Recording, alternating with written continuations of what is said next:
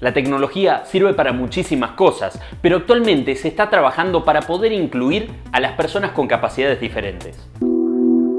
Anyone who has a tremor, or who knows someone with tremors, will understand how difficult it is for him to control a computer mouse.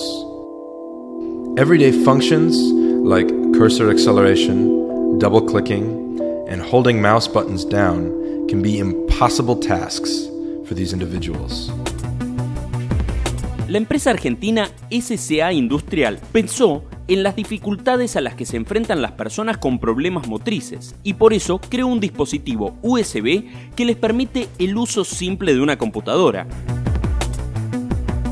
Este dispositivo permite a las personas que sufren de movimientos involuntarios, temblores, parálisis de los miembros superiores o dificultades en la atención, manejar de una manera simple e intuitiva una computadora.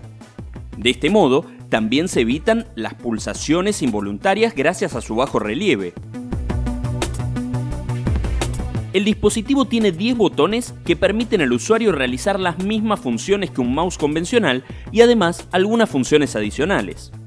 Esta tecnología emula las funciones de un mouse tradicional como el que tenemos en nuestra casa, para facilitar el uso de computadoras a personas con diversos grados de discapacidad, dándoles autonomía en el acceso a las computadoras sin necesidad de un software adicional.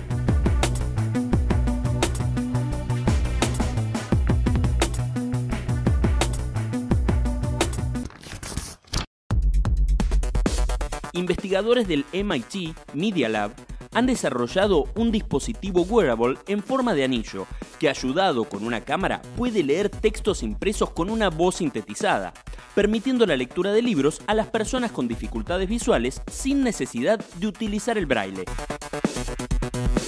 El dispositivo producido en una impresora 3D se llama Finger Reader se ajusta como un anillo en el dedo del usuario equipado con una pequeña cámara que escanea el texto. Una voz sintetizada lee las palabras en voz alta, trasladando rápidamente los libros, menús de restaurantes y otros materiales necesarios para la vida diaria, sobre todo fuera de casa o de la oficina. El dispositivo le llevó a los desarrolladores tres años de codificación de software. A lo largo de este tiempo experimentaron con diversos diseños y trabajos tratando de mejorar cada aspecto con un grupo de prueba.